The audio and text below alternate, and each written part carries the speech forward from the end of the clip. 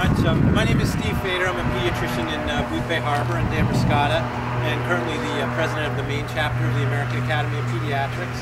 Uh, I'm here today in strong support of the citizen-initiated petition requesting that the Maine DEP name uh, four phthalates as priority chemicals and require manufacturers to report their use. Uh, we feel that uh, Maine parents and pregnant women have a right to know which products contain these potentially dangerous or disruptors. And uh, as a practicing pediatrician, I'm confronted daily with questions about developmental issues, cognitive delays, ADD, autism, learning disabilities, and what, what are the fact, what are some of the potential factors leading to these things. Uh, and uh, certainly toxins such as, uh, such as phthalates uh, uh, are on that list. Uh, it is difficult for parents and families to sort through the tremendous volume of information on products and the relationships of those products to their children's health.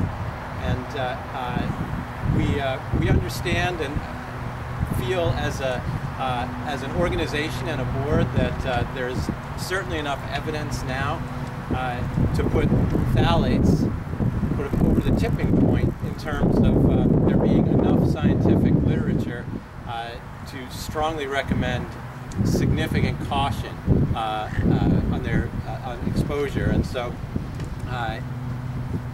it's um, uh, this is one of this is one of those uh, this is one of those uh, things that I don't think is a very um, uh, radical. In fact, I think it's a very conservative and balanced ask in terms of what what this petition is requesting the DEP to do.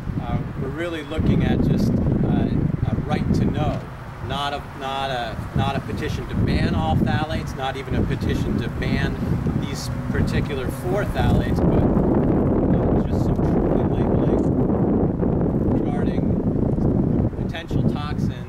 that, uh, uh, that there's enough scientific evidence for us to say, yes, this, this would require caution. So uh, Maine's pediatricians feel this way. As I said, it was a unanimous vote, vote of, our, of, of, the board of the Maine chapter of the American Academy, and uh, we feel strongly enough about this uh, uh, to, to take a stand on it.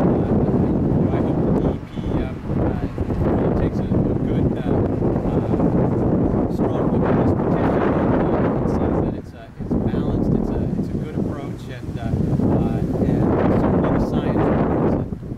Um,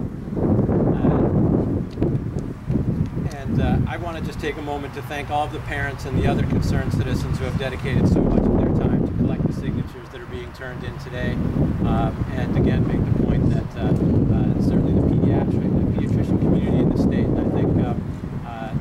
entire community in the state uh, is firmly behind this. So thank you very much.